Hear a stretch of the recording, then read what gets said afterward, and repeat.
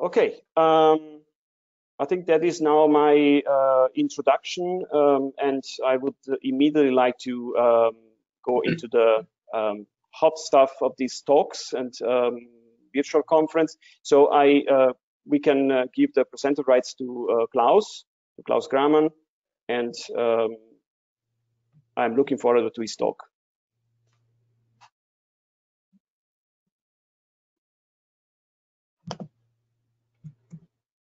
A few moments to give him the presenter rights. Okay. stage is Klaus. Okay, can you all see me and see the presentation? Yes. Okay, great. So thank you very much, Pierluigi, for this um, nice introduction. Um, as you already said, like one week ago, we would have met in San Diego for the Mobile Brain Body Imaging Conference, the fourth actually, um, if it wasn't for the pandemic, which um, shocked all of us, the world, with uh, hundreds of thousands of deaths, um, loss of life, um, implosion of globalized economics, and other really, really bad things coming along with that, but also um, a lot of very good things, I think. Um, um, civilized society standing together, helping each other out. And I think from a scientific perspective, it is important to say that we clearly see how important science and the communication of our results is for societies, for a democratic discourse. And I'm very happy that we have this opportunity as part of this scientific exchange and communication today um, for the Brain Products Mobile Brain Body Imaging Award. So I'm happy to be here. And I'm, I'm very happy to state also that um, we have postponed um, our conference to next year, same place, same same date basically. Um, so it's going to be uh, June 6th to June 9th next year in San Diego at the Schwartz Center for Computational Neuroscience, where mobile brain body imaging basically started, where it all began. Um, and I hope this will be possible um, um, as a personal meeting so that we can be there and have a personal exchange. But there might be also opportunities and we'll see how things develop um, with COVID-19, um, whether we might also have um, a digital version of the conference.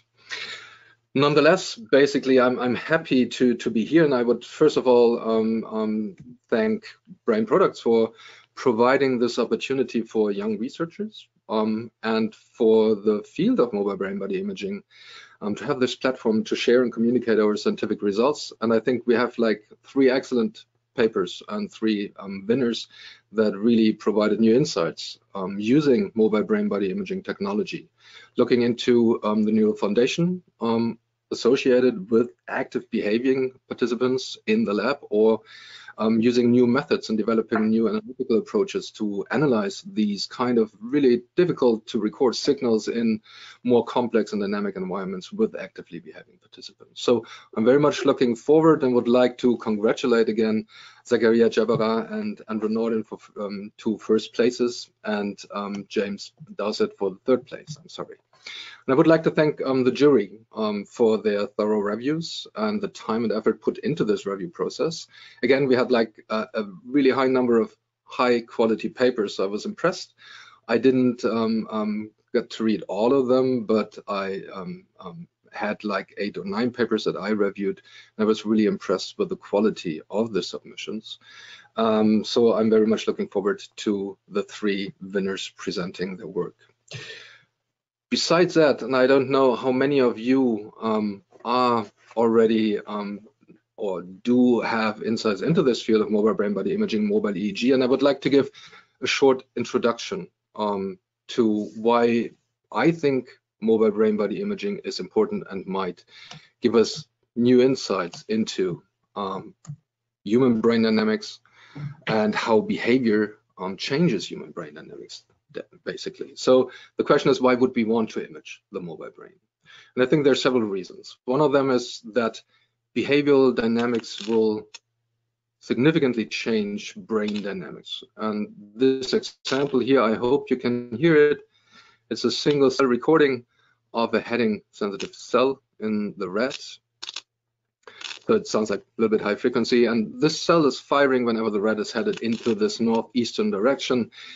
And this is um, a really important structure or function basically for spatial orientation because it allows to translate egocentrically perceived um, information from the visual system, vestibular system, proprioceptor system into an allocentric reference frame because this kind of egocentric sensory information can be now aligned with allocentric information um, from the outside world like landmarks, visual landmarks like you can see here in this white paper in the surrounding. So um, I'm coming back to this structure later uh, with respect to our research um, in heading um, computation. But this example also clearly shows that cognitive processes are deeply rooted in the body's interactions with the world, as Margaret Wilson nicely stated in her six views on embodied cognition. And I would argue that this is also the case for human brain dynamics. The moment that we start moving, like in this example, Anna Wunderlich, a PhD here at the Berlin Mobile Brain Body Imaging Labs, um, we look around, we move, we actively behave, and this kind of behavior will definitely change, first of all, the sensory information that we receive.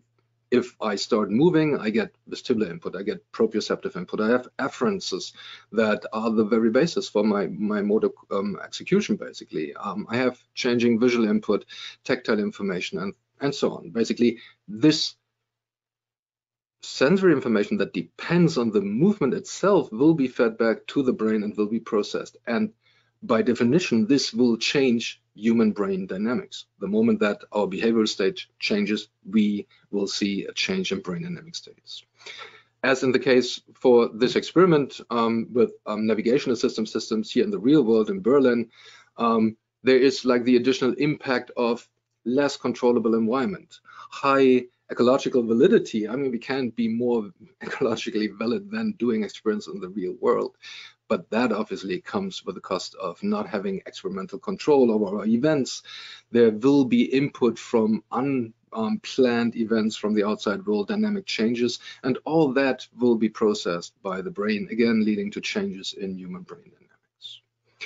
So I, I think it is pretty valid to assume that brain dynamic changes um, will be accompanying um, behavioral changes, then the question is why didn't record or why didn't we image the human brain in active behavior during active behavior yet? And this is mainly because um, the sensors of traditional imaging modalities are too heavy to follow participants' movements. And even in the case of EEG, where we do have lightweight sensors, mobile sensors that are portable to follow participants' movements, we are afraid of movement-related artifacts of distorting the signal of interest. Um, and as a consequence of that, we force participants to sit or lie um, supine in a scanner or in a dark experimental room, not moving at all, um, fixating on, um, on screens and receiving auditory or visual input. And then we reduce this high dimensionality in, in our brain recordings to um, compare that to approximately one bit of behavior, and that is a button press at the end of the trial. And this dimensional mismatch of millions of bits per second from brain imaging modalities and one bit of um, behavior basically is a dimensional mismatch that does not reflect what the brain arguably has evolved for, and I think that is to optimize the outcome of our behavior, to improve our responses, dynamic responses in complex and changing environments. So this would be the reason why we would want to look into mobile brain imaging and use mobile brain imaging to get a better understanding of human brain dynamics in more natural environments. And then how do we do that?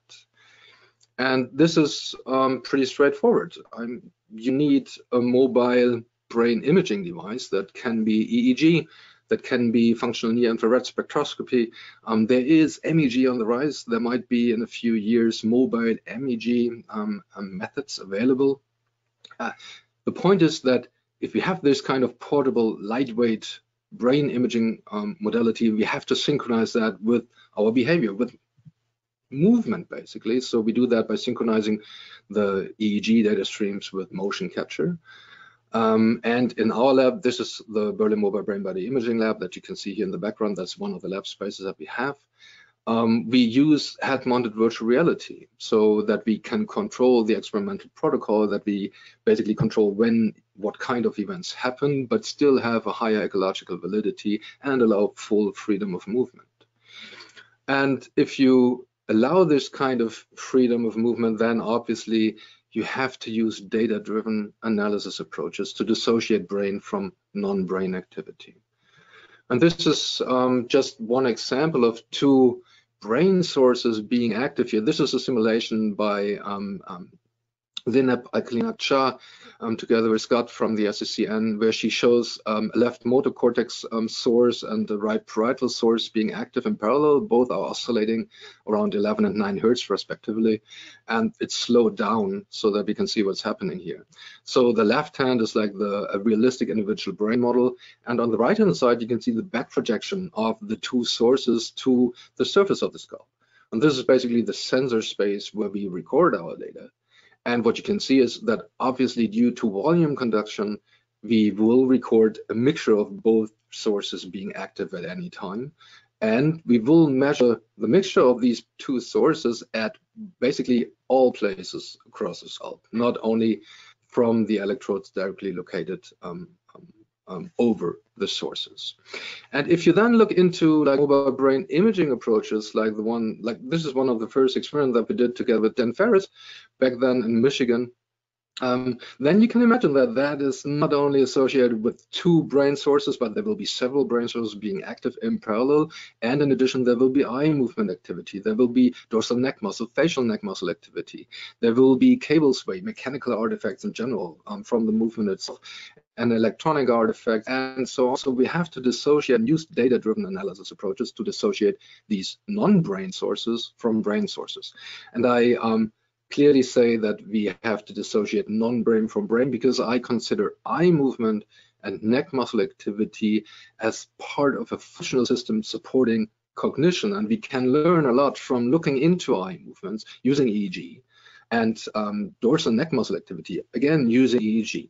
We just have to use the right tools to look into these signals to use them for better understanding cognition. And I would like to show you one example um, what mobile brain body imaging might provide you regarding new insights into brain function. And this is coming back to the initial um, example of the red and the heading sensitive cells. This is spatial cognition. And I would like to start with a traditional lab setup that I've been using for years to investigate um, um, reference frame proclivities. I hope you can see that all. And I would like you to now in the coming task, keep up your orientation. You will be um, moving through space. It's a star field, and you will be moving straight ahead and then to the left or to the right. And at the end of this path, you have to select one out of two homing vectors pointing back to your starting point of this path. Okay, then here we go.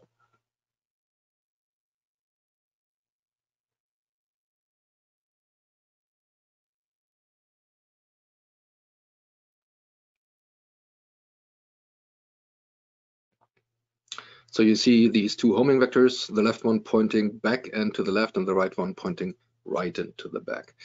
Um, usually I would ask the audience um, who would pick which homing vector and usually it would be something around 50-50 distribution.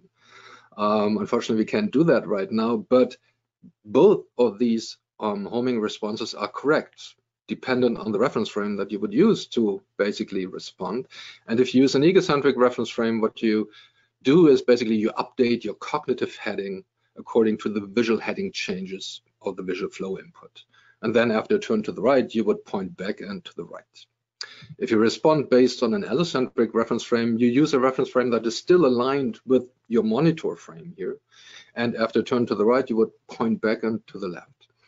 And these strategies are remarkably um, um, um, consistent within participants. Um, but more importantly, this is a fantastic task to address the retrosplenial complex and look into the activity of this cortical structure, because this is the structure that allows translation of egocentric perceived sensory information into an allocentric reference frame. You can see that here on the left-hand side, it's a fairly huge complex um, um, gathering um, Brodmann areas 29, 30, 23, and 31. Um, so it's a transition from parietal cortex to the posterior tip of the cingulate cortex. And the retrosplenial complex, as you can see on the right-hand side here, receives information from the parietal and occipital cortices Thus, it receives multimodal and visual information directly, but it also receives information from the anterior um, thalamic nuclei. And the, these are the nuclei that provide heading information. And it is assumed um, that there are also heading sensitive cell populations in the retrosplenial cortex. And then you see that there's this connection to the hippocampus down here in the right corner, and this allows translation of egocentric information into an allocentric reference frame and vice versa. So looking into the RSC during this kind of orienting task that you just saw, um, this is um, a depiction here of an independent component analysis on several subjects doing this task, half of them with a preference for an egocentric reference frame and half with a preference for an allocentric reference frame. If you look at the retrosplenial complex, that's what you see here in the first row with the independent components here marked in red, and you look at the spectral perturbation patterns over the time course, this is a similar task. It's a tunnel instead of a star field, but it's the same idea, the same results. And here you can see over time of a tunnel passage, um, the frequency changes from 1 to 45 hertz. And what you can see here is a strong desynchronization whenever participants see that the turn is coming up and during the turn itself. And these are participants using an allocentric reference frame. If you look at participants using an egocentric reference frame, it's a similar pattern, but less pronounced. The difference is highly significant. The question, however, is, would that be the case? Would you even observe different strategies and different responses if you actually turned during this kind of stimulus turn? And this is where we now started looking into heading computation using mobile brain body imaging and comparing this directly with established desktop scenarios. And what you see here again is a setup. So this is a 156 channel high density EEG, and we used 28 channels here in the neck to record dorsal neck muscle activity. 128 channels actively amplified um, EEG here um, in the cap, um, and that is synchronized to the head-mounted virtual reality and the PhaseSpace system. So we used um, both to integrate and get position and orientation. And this is a general setup before the lab was renovated. In the backpack, we do have a gaming computer, the Zotac, to basically render the virtual reality. And that allows us to then stream that through the MOVE system um, to the amplifier system in the control room. So participants are free to move. It's um, fairly, it's still restricted, obviously. You don't feel really naturally moving in space with 156 channels and a headset, but we're getting closer. So the task here now simply is you look now at a bird's eye view on the same setup and participants basically see an orienting pole. You would orient towards this, align with it, and then um, that would be replaced by a sphere and that would rotate around you, ending unpredictably on a trial between 30 and 150 degrees to the left or to the right. So, and then participants basically um, were instructed to rotate back and indicate their initial heading. So this is a simple heading computation task. Pressing a button, confirming we got over and underestimation, time of outward, backward rotation, and so on. And we clustered all the performance then um, for three different categories, 45, um, 90, and 135 degrees. Importantly, we compared directly the brain dynamics within participants when they actively physically rotated or on the right hand side when they controlled the same visual flow using a joystick. So this is a replication of the standard um, established lab setups basically, where you only have visual flow but no vestibular proprioception um, during this task. If you look at the behavior, this is the joystick condition in blue. This is the mobile brain body imaging condition in green. You see there's a significant improved accuracy in heading estimation basically when you actively rotate. And this is not surprising because you have all the sensory information that is available to you usually doing these kind of natural tasks. More importantly, if you now look again at the retrosplenial complex, this is a different means of um, showing that it's just a, a, density plot of the ICs of a cluster that was located in or near the RSC. And what you see here now is a time warped event related spectral perturbation pattern. So the x-axis basically shows you the outward rotation period. There is no absolute time anymore because the rotation would take different um, durations. If you rotate to 30 degrees, that would be faster than rotating to 150 degrees. So the epochs are of different length. So you take a single trial and you compute the spectrogram, and then you basically time warp these single trial spectrogram power values to the median latencies across all trials of the movement onset and the movement offset.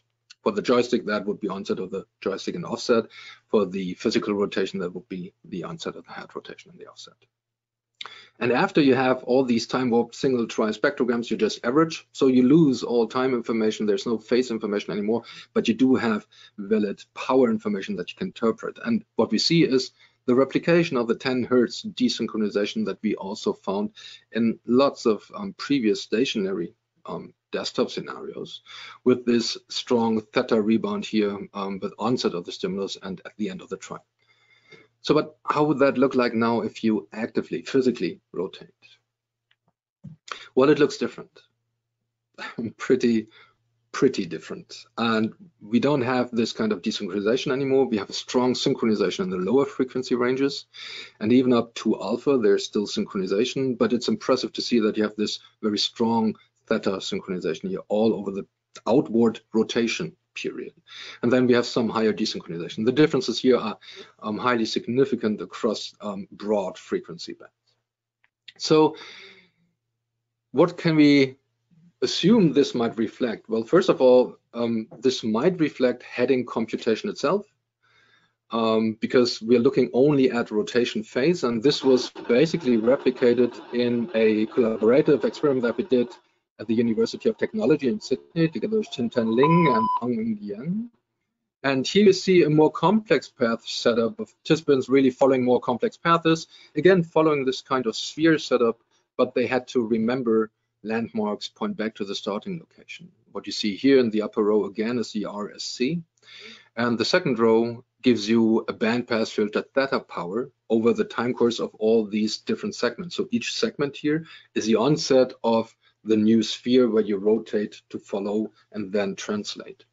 And what you can see in the event-related spectral perturbation pattern down there for all the six segments that we did here, you see this theta increase again and again for each of the segments, and you see a continuously desynchronization or continuous um, increased desynchronization in the alpha band across all segments. And these patterns are significant. So we think we might be onto something um, that might reflect heading computation directly in the low theta frequency range, why this continuous alpha desynchronization would reflect the translation of egocentric into allocentric reference, uh, reference frames to have information in both reference frames available for the response to landmarks in an allocentric frame or the homing position. So, and this would be something that would be only possible to see if you actually have physical movement. And we didn't see these kind of theta synchronization patterns in our desktop experiments before, even though we have visual information about optic flow. So we might encounter new insights into brain dynamics, functional differences of different frequency bands or cortical regions dependent on the behavioral state.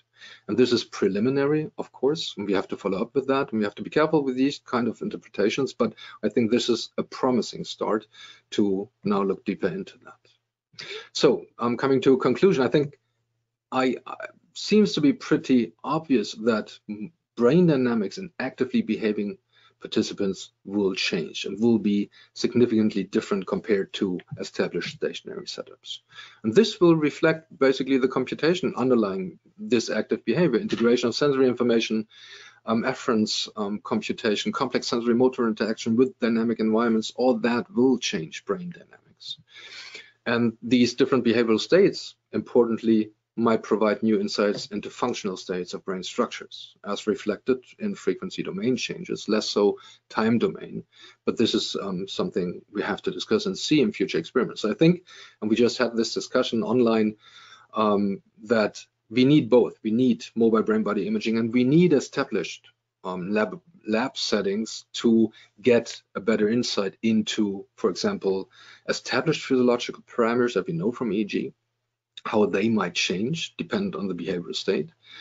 And basically, I think this is a huge opportunity for us. Mobile brain body imaging is a significant opportunity for us for better understanding of embodied, more natural cognition and the underlying neural dynamics.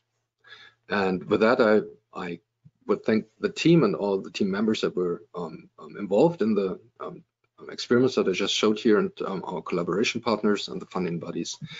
And if you're interested in that, and I hope I um, this is just a start because there will be three um, really cool talks following me now um, about mobile brain body imaging. You can follow us. Um, there's um, um, blogs on the BeMoBIL ResearchGate and Twitter.